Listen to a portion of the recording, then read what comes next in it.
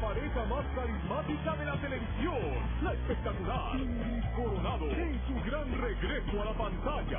Y el máximo conductor hispano, Rafaela Alameda. Dos reconocidas figuras que hacen la combinación perfecta. Segundo gran concierto, hoy, 7 de la noche. Déjate.